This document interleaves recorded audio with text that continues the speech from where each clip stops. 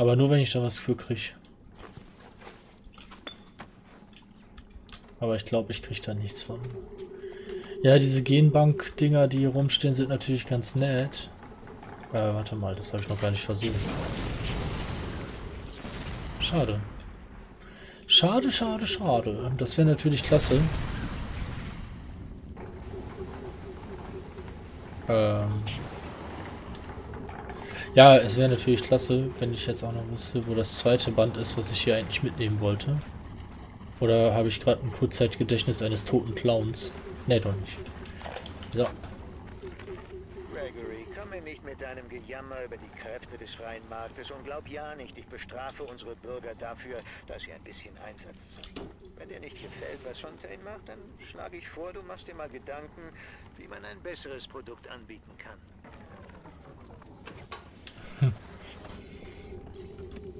Ja, hier ein besseres Produkt wäre, glaube ich, gar nicht schlecht, weil alles, was ich hier bisher gesehen habe. Rolling Hills ist gleich da drüben und auch die Anlegestelle der Tauchkugel. Dann geht's direkt weiter zu Ryan. Hä? Bin ich jetzt blind? Ach, da.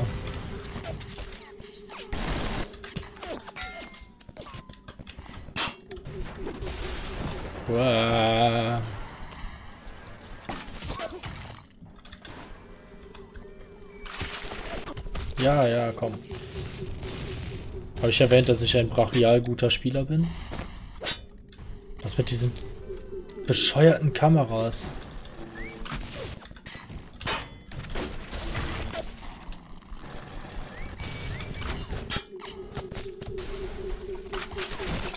Ja, komm her.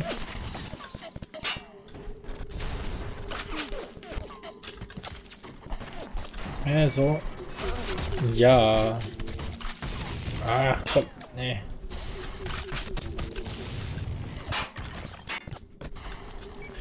Huch, da kamen jetzt aber viele. Fand ich nicht gut. Nee. Diese blöden, blöden Kameras. Du bist Danke für den Besuch. Immer gerne. Sind es unsere Entscheidungen, die uns ausmachen? Muss ich wahrscheinlich später hin, ne? Ich weiß es nicht. ich will immer, äh, wenn ich schon mal in die eine Richtung laufe. Was hat die denn? Ja. Komm, wir gehen, wir gehen jetzt mal den einfachen Weg. Also den normalen Weg, in Anführungszeichen. Weil ich gehe mal davon aus, dass wir gleich da hinten auch nochmal zurück müssen.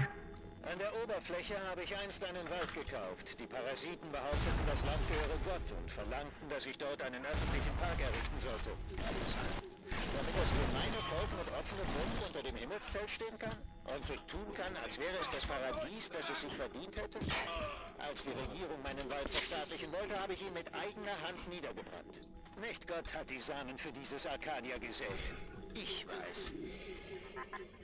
Ja, du hast auch überhaupt keinen Gottkomplex. Oh, hi.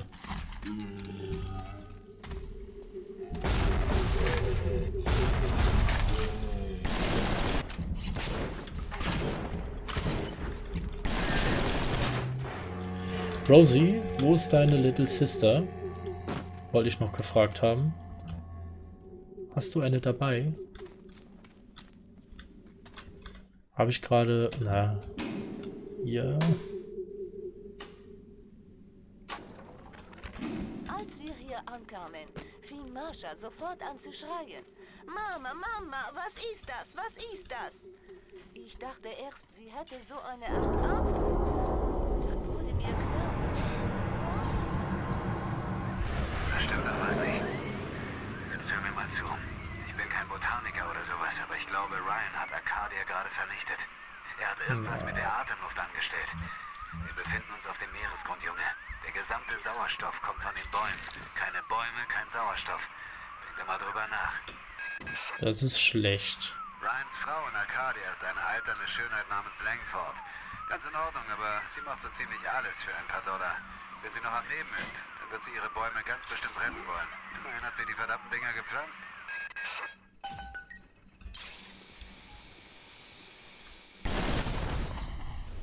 Ja. ah, was kann man denn hier mal kaufen? Keine Ahnung. Napalm klingt gut. Ich kaufe einfach was, damit ich wieder Geld aufsammeln kann. Ich finde das immer so doof, wenn ich das Geld liegen lassen muss. Ich hoffe, ihr versteht das. So ein bisschen. Meine Bäume!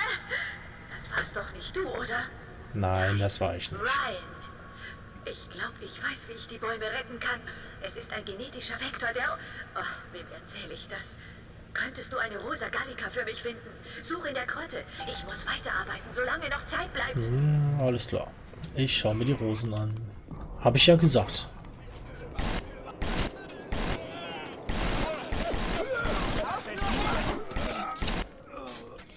Da hätte ich jetzt auch schön Fotos machen können, oder? Hätte, hätte ich. Hätte ich.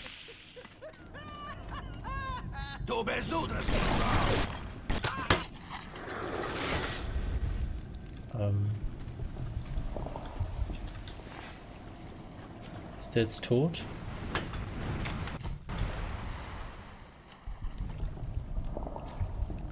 Wo bist du? Wo bist du? Da. Hä? Bin ich blöd? Ah, da bist du. Da. Der Houdini Slicer schon wieder. Splicer auch genannt. Das Scheißding.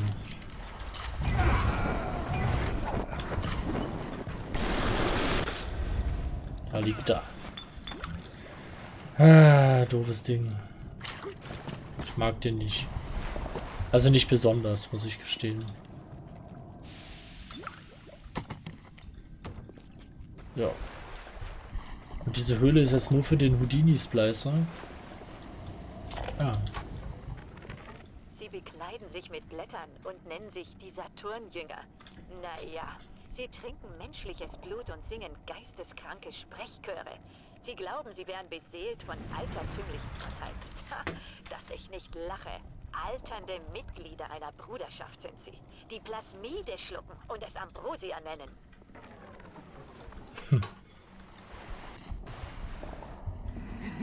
Jetzt habe ich den Foto, auch den Schatten gerade fotografiert tatsächlich. Wo bist du? Äh, ich mag dich nicht. Ich weiß jetzt nicht, ob das Foto zählte oder nicht. Ah. Ich denke, es zählte. Ich bin mir nicht sicher, ich weiß es nicht.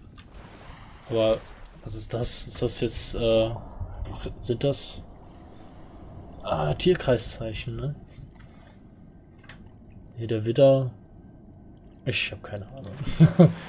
Wenn ihr da was wisst, könnt ihr mir gerne was dazu schreiben. Ich bin da leider ein wenig überfordert für. Nein, überfordert nicht. Ich kenne es einfach nicht.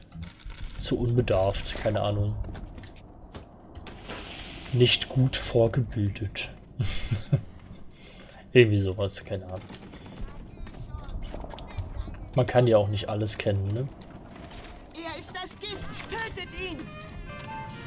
Hihihi. Drei Stück. Das Gift! Tötet das Gift! Vertötet den Parasiten! Ja, warte kurz.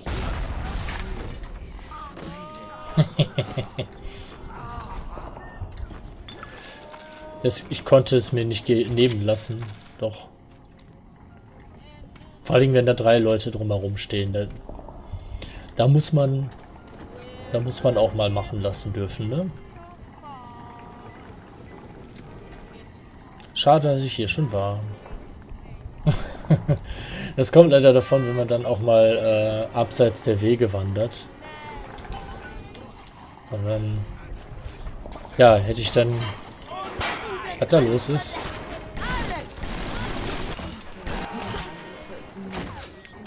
Äh...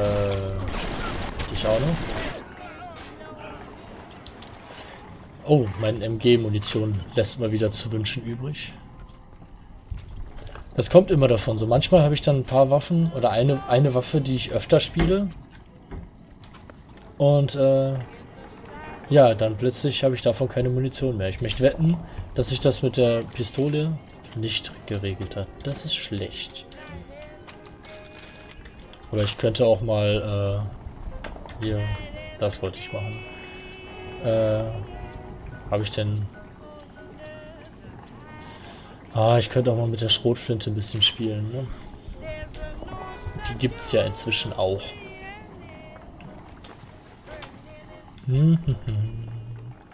Ich heile mich mal, Leute. Man weiß ja nie. La la la, la la la la. La la la la la la la la. Nein, nicht singen. Gegner töten. Wow, Gegner töten, ohne selber getroffen zu werden. Wer schmeißt denn damit Pistolen nach mir? Könnt ihr das bitte sein lassen?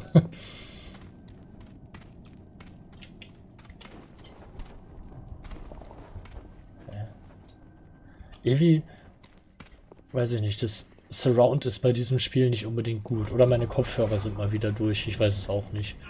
Eins von beiden. Hast du die Rosa Gallica? Na also, auf was wartest du? Auf eine Einladung in Schönschrift? Schick sie mit der Rohrpost drüber. Ja, das muss ich doch erst wissen, Fräulein Julie. Gott. Ja, sehr gut. Perfekt. Komm hoch in dein Büro. Ich lass dich jetzt rein. Ich glaube, ich habe genau das, was wir brauchen, um dem Wald wieder neues, grünes Leben einzuhauchen. Jo, machen wir. Lab Access Ziel. Hacking-Experte. Oh. Hacking-Experte ist das originale Hacksmart Gentonikum, das den Alarm abschaltet und dabei hilft, Kurzschlüsse zu, Kurzschlüsse zu vermeiden. Dieses Plasmid aus der Hacksmart-Reihe ist ein absolutes Muss für jeden. Eine Alarmplatte und eine Überlastungsplatte weniger beim Hacken, okay. an diesem verdammten Ort denn nichts, was diese Ungläubigen nicht stehlen? Papierhandtücher, Tintenfässer, Zaubernüsse, Chlorophylllösung. Sogar meine alten Ausgaben von National Geographic. Damit schmücken sie ihre widerlichen kleinen Schweineschütze. Diese kranken Idioten. Ja, kranke Idioten, damit hat man leider öfter mal zu tun. Ne? Ich habe die Sicherheitssysteme von diesem Laden gehackt. Die Geschütze werden dir nichts tun. Komm hoch in mein Büro. Ich habe halt nur drei Minuten Zeit. Wer Ne? sagt, dass man einem alten Hund keine neuen Tricks mehr beibringen kann? Eine gewisse bescheuerte Pflanzenforscherin braucht vier Jahre, bis sie den Trick raus hat, die Bäume im Pazifikraum zu entlauben, um die Japsen zu verjagen. Und jetzt sitze ich hier auf dem Grund des Atlantiks und versuche rauszukriegen, wie man den Prozess wieder umkehren kann. Adam, Adam, Adam. Das ist wie schwarz gebrannter Schnaps, multipliziert mit der Atombombe, multipliziert mit Eva und der Schlange. Mal sehen, was es ausrichten kann. Ja, dieses Adam. Ich habe auch eher das Gefühl, dass das mehr Schaden verursacht als alles Wir andere. beide hatten doch eine Abmachung, oder etwa nicht?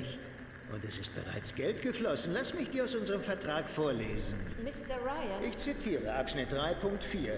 Die Ryan Industries Corporation erhält die Exklusivrechte zur Herstellung, Nutzung und Verwertung des Lazarus-Vektors. Eigentum bedeutet zivilisatorischen Fortschritt, Julie. Ohne die Wahrung des Eigentums fallen wir zurück in die sumpfige Vorzeit. Äh,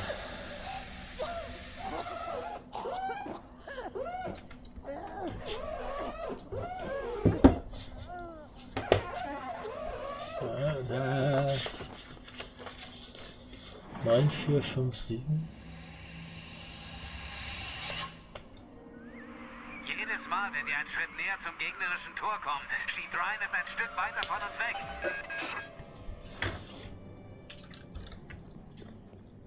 Ah, Okay. Achso, ja, von hier aus kann ich es natürlich auch sehen. Ich musste es mir gerade eben aufschreiben. Ich töte seit 25 Jahren Bäume. Seit der Zeit in Berkeley, damals in den 20ern, bis zu der Sache auf Iwo Jima, wo es gegen die Japsen ging. Aber ich habe noch nie einen wieder zum Leben erweckt. Aber jetzt habe ich's geschafft, Becky. Mami ist dabei, ihren ersten verdammten Mutantenbaum zu erschaffen. Ich werde meine Schöpfung den Lazarus-Vektor nennen. Vielleicht erweckt sie auch die Karriere der alten Dame wieder zum Leben.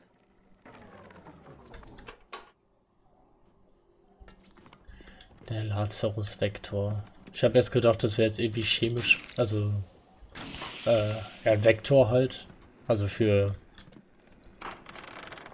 äh, wie soll man es jetzt sagen? So, ich habe es mir aufgeschrieben, ne? Wo nochmal?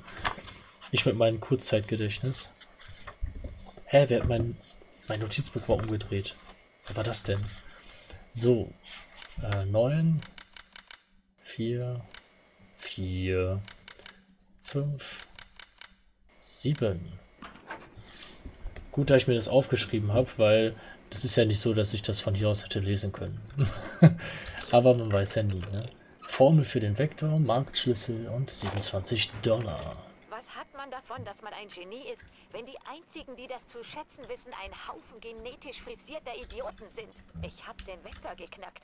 Oder zumindest bin ich mir zu 99% sicher, es geschafft zu haben. Ich brauche nur die Blüte einer Rosa Gallica, um meine Untersuchungen zu bestätigen. Dann werde ich hundertprozentig sicher sein. Destilliertes Wasser? ein wenig Chlorophyll und aus Apis mellifera gewonnenes Körperenzym. Hm. Was das sein soll? Ha, ganz einfach. Oh nein.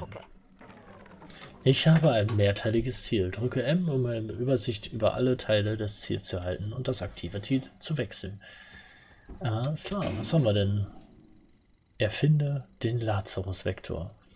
Langford hat herausgefunden, wie man durch Gentechnik tote Pflanzen wieder zum Leben entwecken kann. Ihr sogenannter Lazarus-Vektor sollte die Wirkung von Ryans Pflanzengift umkehren können. Um den Lazarus-Vektor herzustellen, brauchst du sieben Einheiten destilliertes Wasser, Chlorophylllösung und Enzymproben. Sobald du alle Bestandteile hast, bring sie zu dem U-Invent Machine und stelle deinen Lazarus-Vektor her. Aha.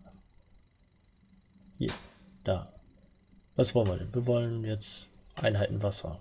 Aber schauen wir mal. Ähm okay, hier ist das Labor. Ich komme hier nicht weiter. Ich musste es einmal machen. ja.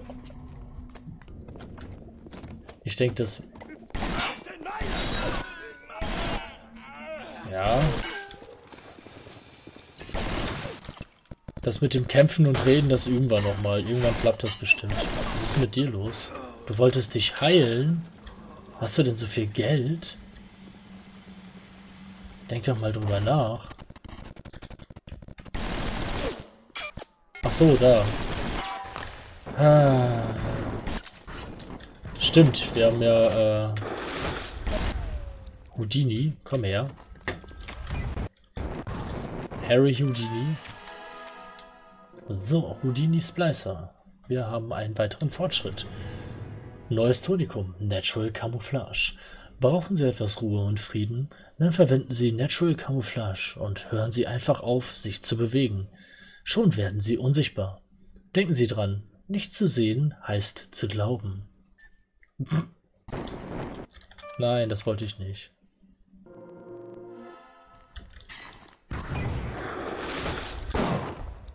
Spinner. Warte. So. Das fängt gleich alles an zu brennen, oder? Ich gehe mal hier schnell weg. Da, Ziel erreicht, besorge sieben Einheiten Chlorophyll. Haben wir das schon mal gemacht?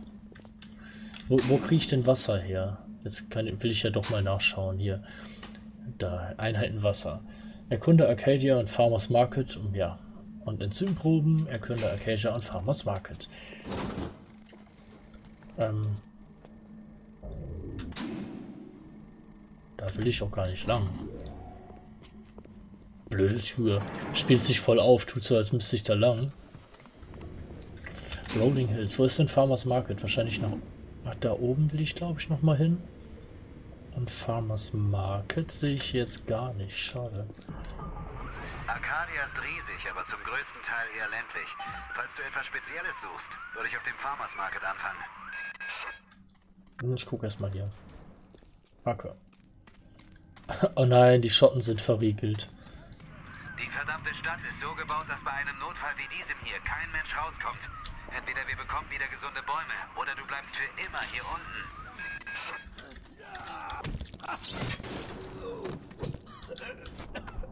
Also kommt der mir um die Ecke.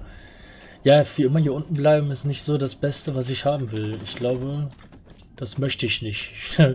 ähm, machen wir erstmal den Ja, den Vektor, ne? Guck mal, hier ist Wasser.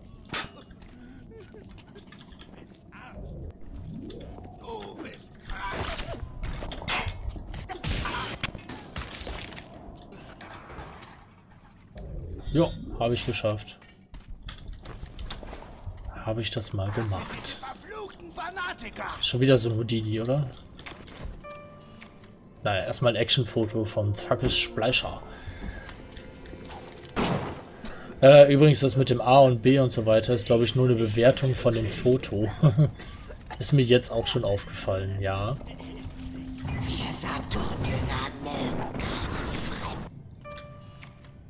Guck mal, jetzt hier. Actionfoto Houdini Splicer. Komm her, du Sau.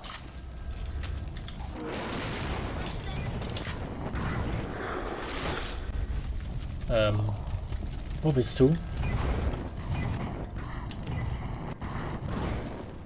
Bin ich blind? Hallo. Ach ja, natürlich.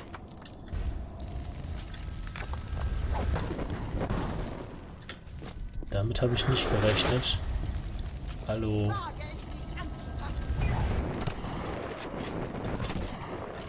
Ach, dieses miese, mies Dingi.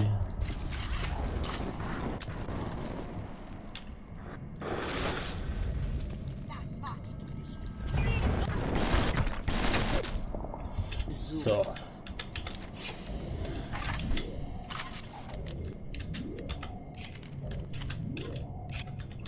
Ich echt wenig Munition.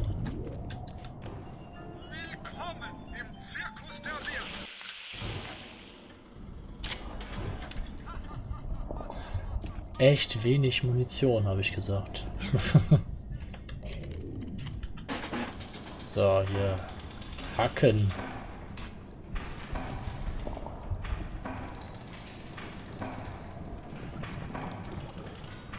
Ne.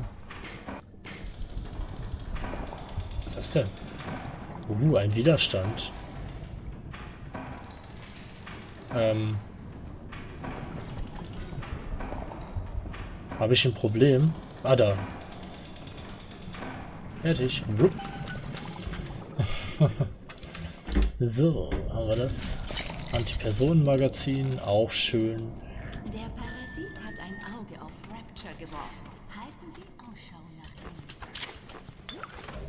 Ja, ein bisschen was, äh, ja, ein bisschen Zeug aufsammeln. Und ich glaube, huch, So, wir sind im Farmers Market.